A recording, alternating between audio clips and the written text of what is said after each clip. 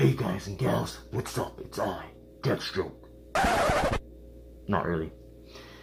It's just me Oneeyecro. But guess what? Today I'm coming at you with an unboxing video, and it's mm, unfortunately not Deathstroke, but it does deal with the DC universe. It's another Batman. I guess it's as good as Deathstroke, right? Anyways, let me get out of this mask because it is super hot in here, and uh, let's get into the video.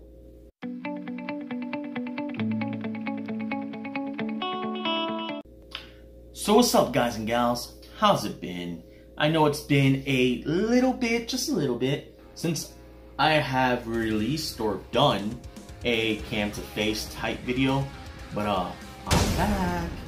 Actually, I do want to start off by saying thank you. Thank you to uh, thank you to everybody who's been so supportive along the years. Um, you know, it's always been a dream for me to be able to make it either through here on YouTube or Twitch or just something that I really, really want that deals with a dream and a goal that I've had set for years. And uh, sometimes it, I'm gonna be honest, it feels like I'm going nowhere. You know, sometimes I feel like I'm stuck and I'm running in place.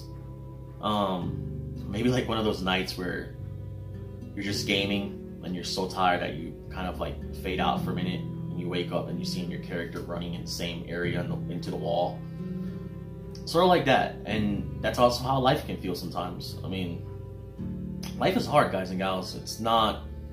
It's not a walk in the park. Um,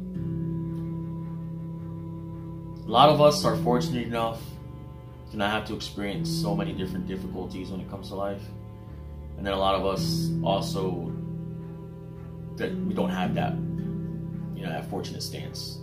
Um, a lot of people out there I know, and you're probably one of them who are watching this video, you struggle on a daily basis with something that affects your health or affects your mental health. Um, I'm human. I'm just like everyone out there. I have my moments. Um, I have my battles mentally, but uh, I'm fortunate enough to be able to turn to God um, for a solution, for an escape, and uh, I also have a supportive wife and I have amazing kids. Um, and my wife has been through so much lately, more than I wish she had to go through, um, health wise. My sister has gone through a lot. Um, I've been through a lot. But you know what? I still try to hold on to the belief that things can get better. I believe that things will be better. Um, I try to keep the positive outlook on my life, not because I want people to see something that isn't there, but because I believe that there is something there that can help other people who do not have it there. Um, if I can't believe, if I can't have a positive outlook, I'm done. I mean, if I can't hold on to a fight, a battle, to continue pushing on, then I've already given up. And that is not the case here. I am not going to give up. I will never give up. Um, but anyways, guys, I'm back. I'm back on YouTube. Um, I've had to down my time on Twitch. Um, we're only going to be doing, or I'm going to only be doing two times now on two times a week on Twitch. Once on a weekday and once on a weekend. On the weekend, maybe I'll drop some like Fortnite gameplay or some Dungeon Defenders or uh, some Dying Light or something that me and my wife haven't streamed in a long time that can really make you guys laugh and just have a good time watching. Um, there will be no more camera, no more overlay, um, no more alerts and all that cool stuff. It's just going to be raw, straight up gameplay from my PS4. Maybe I'll be sitting in my recliner in the living room and if I feel like it, just going ahead and streaming for you guys. It's just going to be good, raw content. Just me and my wife having fun and just enjoying a night. With that said, I am going to be ending my Siege Monday streams. I will no longer be streaming Rainbow Six Siege. Now, this has nothing to do with the crew itself or any of that. It's just I'm trying to do a couple more things and venture out to a couple more different things here for YouTube um, and for other other stuff like my podcast and other stuff that you guys will be see or be hearing about very soon. Um, I will still be personally playing with my crew. They're my family. A lot of these guys I've met along the way. Some of them are legitimately family. I got my wife and I got my cousin. Um, my other friends like uh, Big Bob, Little Bob, um, I don't care, all of them, uh, Bubba, they have become my family along the way. Um, I have so much love and appreciation for them, and I will continue to play with them and have fun with them. It's just I will not be streaming these things no longer on Twitch. As why I will not have cameras or overlays on my streams anymore is because the PC that I did use, my gaming PC, I had told my wife that if she was able to get this job she wanted to go for, which was a dream job, and she said that, uh, you know, oh, I don't know if I'm gonna get it. I go for it. I said, go for it, babe. What's the worst that can happen? If you get it, they don't provide you equipment. If they if you get this job, I will let you use my gaming PC. You can you can gladly use it. I have no problem with that. So uh, she went for it and she got the interview. She nailed the interview and she got the job. so uh, sorry guys, my, my voice is acting up. My allergies has been crazy lately. Um, but yeah, so she got the job. So now the, the gaming PC and everything's all set up for her, ready for work. She actually starts today as I'm filming this video.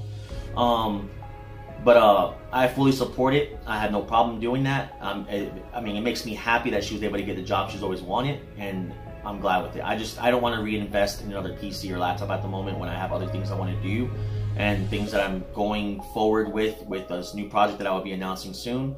Um, that I want to be able to put my uh, my extra earned finances and stuff that I have. And I say extra, I, I don't use anything that, of course, that we use to pay bills and food and stuff like that. This is stuff that I've earned along the way through Twitch or maybe through uh, through my art, stuff like that that I've been saving up. That I want to go ahead and put towards this project that I've been.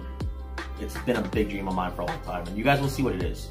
Um, but anyways, guys and gals, this is gonna be a dragged out, long freaking video for the beginning start of a statue unboxing. So let's just go ahead and get straight into this unboxing. It's another Batman statue. Um, it's gonna be another one out of the box already. Uh, we'll be having a whole lot more statues coming in, and I will make sure to do those videos properly, including the actual unboxing, opening the tape, the box. You guys can hear the beautiful sounds, and releasing the statue, and all that good stuff. But this one and the next, I think, three or four will be already out of the box.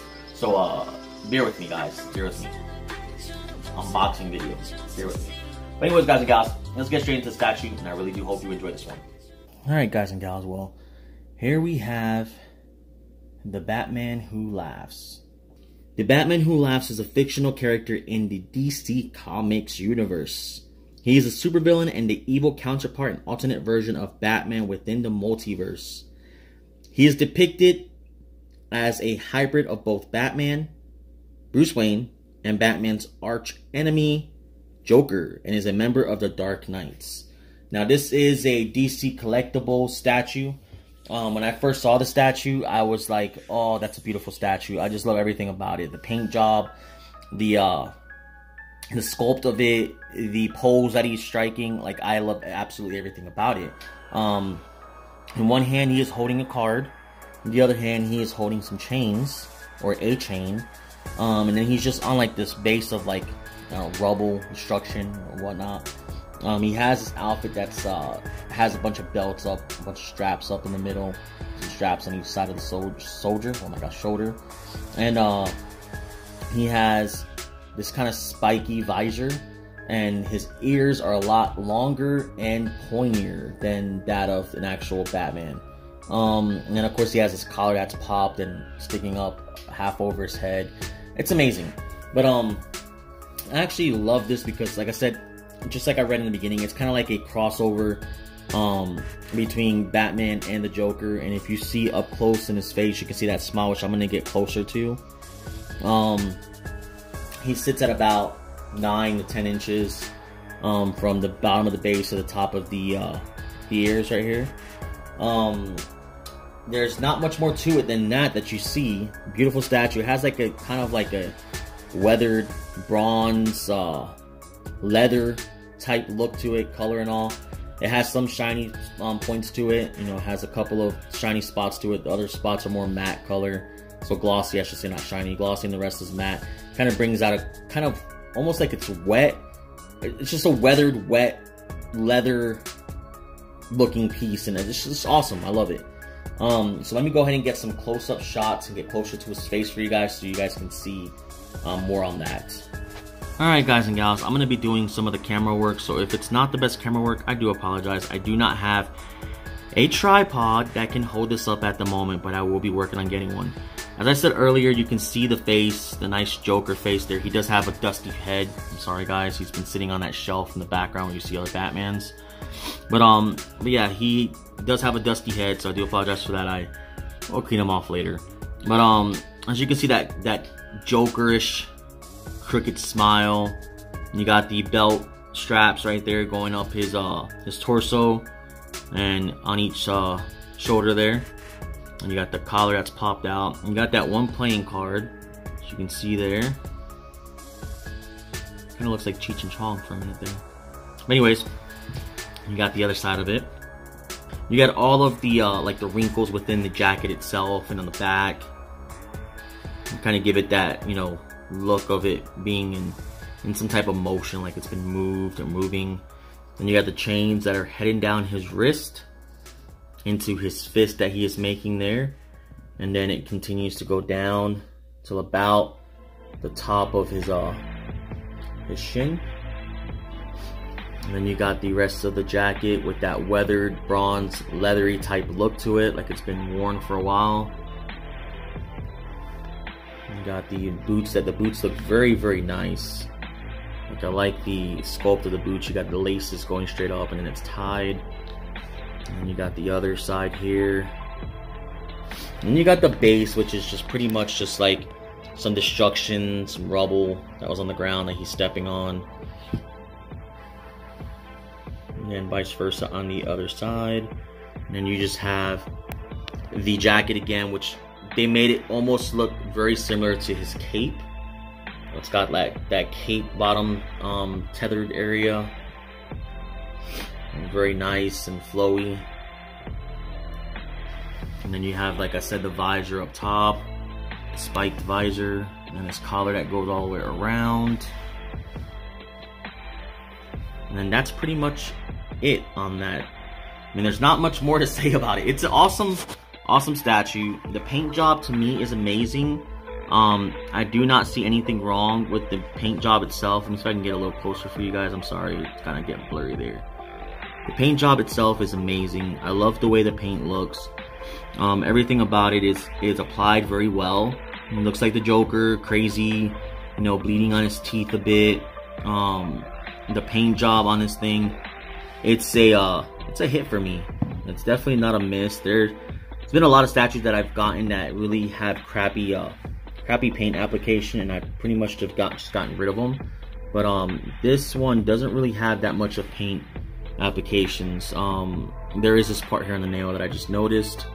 Not anything big, it can easily be touched up. If you need to touch it up, you can touch that up and uh, kind of fix it with the same color. You got the chains going up.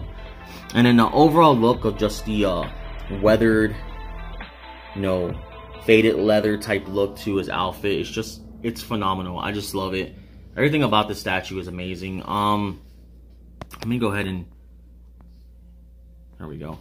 Everything about the statue is amazing. I love every single thing about it. Um, there's a couple others I'm going to be unboxing and sharing with you guys. But this statue only cost me roughly 45 to 50 bucks on Amazon. Um, brand new, of course, and is legit DC Collectibles. It's not an off-brand. It's not a rip-off. This is straight from DC through Amazon. So definitely check it out if you want to own this piece. I I really recommend it if you're a fan of Batman and Joker. That this is just one of those statue pieces you have to have in your collection. Um, I am going to be dropping a few more unboxing and reviews of some other crossover Batmans that I do enjoy. And here shortly, I should be getting a um, Tim Burton, Michael Keaton Batman here soon in the mail that I will be unboxing for you guys too.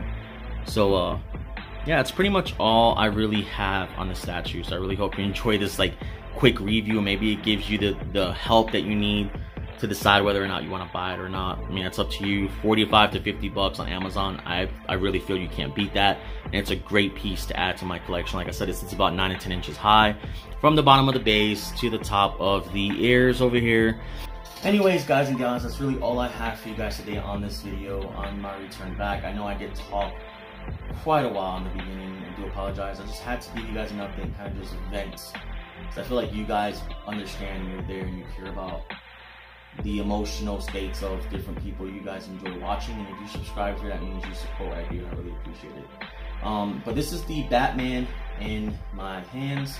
This is from the bottom of my palm to the tip of my middle finger. I do have a pretty big hand. Um, so that would tell you right here, it's literally, I would say almost about 11 inches high, 10, 11 inches. I know I said 9 to 10, but looking at it now, it's more about 11, 10 to 11. But anyways, guys and gals, this is my statue review of the Batman Who Laughs, the DC Collectibles. Definitely go check him out. I think he's worth um, looking at. And I hope that my video was able to give you guys a little insight of how it looks up front, up close and all, and uh, different paint applications and all on it. I think it was definitely worth the investment of 45 to 50 bucks on Amazon. Go check it out. And if you did pick it up, let me know in the bottom. And if there's something that you'd like to tell me about why you like Batman Who Laughs, why you like this crossover, um, let me know in the comment section as well. I would love to hear why you like it, if he's one of your favorites or not. Um, and I do want to pick up some, uh, I want to read some comics with this. I haven't yet. Um, but I would like to. And if you guys know about any comic um, recommendations of where to start um, reading on this guy, please let me know in the comment section below too, because I do read comics, but I, I'm not an expert on them by far. I'm not an expert on any of them. So I would love to know where I would pick up or start, or is a good pickup or starting point for the comics for Batman Who Laughs. Um, let me know in the comment section below. Like always, guys and gals, please.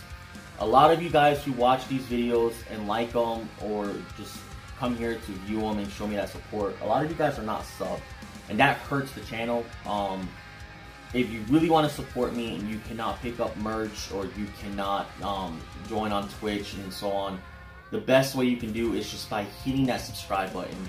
Um, just just click that subscribe button and then hit the bell icon and make sure you put all notifications. That way it alerts you of every time that I'm on. And also remember, if you like this video, please remember to hit that like button at the end of the video. Just show me that you're liking what I do. And if you don't like it, guys, leave the constructive criticism down in the comment section below. Let me know that you don't like this content. If you want to see other things, or if you have another um, budget statue you want to see me go ahead and unbox, let me know as well. I do want to go for some higher end statues, but just not at the moment. Um, I have to make income before I can invest on the higher end statues. So we're going to be sticking to the uh, budget statues, which I think there's great, great amounts of them. You know, I'm not going to go over $100 on a statue. I think there's great ones um, that really show good artwork and good sculpting and everything um, underneath that budget mark. And then maybe in the future, if things pick up on the channel and I start to get good income and all, then I would go ahead and I'll invest in the higher end statues and do some unboxing reviews on that as well. But anyways, guys, like always, I love you all. You're all amazing. Don't ever let anyone make you feel like you are less. You all have purpose on this world. And if no one's told you they love you lately, let me be the first one to tell you again and again and again that I love you like crazy. I really appreciate every single one of you guys that come through here to support with a like, a sub, or even a view. Remember, guys, please subscribe. And like always, always good vibes, always good times. And I'll catch all of you guys on the flip side. Till the next video.